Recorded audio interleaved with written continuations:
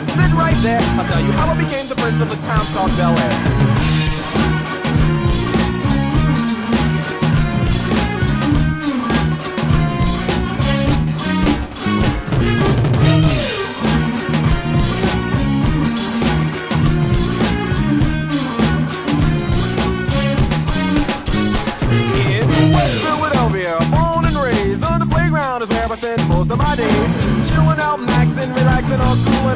Some ball outside of the school. When a couple of guys who were up to no good started making trouble in my neighborhood. I got in one little fight and my mom got scared and said, You're moving with your auntie and uncle in Bel Air. I begged and pleaded with her day after day, but she packed my suitcase and sent me on my way. She gave me a kiss and then she gave me my ticket. I put my Walkman on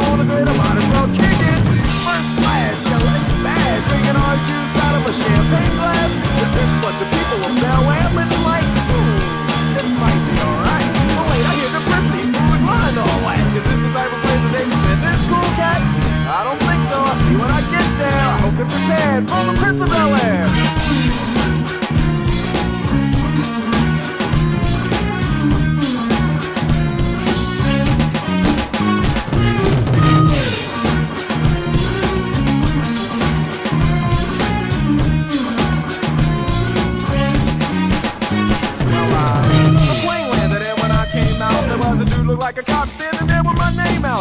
ain't trying to get arrested yet, I just got here. I sprang with the quickness like lightning disappeared.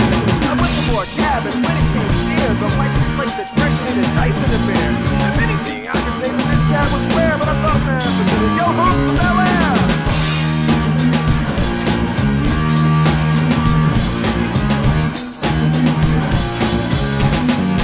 I pulled up to the house about seven or eight, and I yelled to the cabbie, "Yo, home, smell you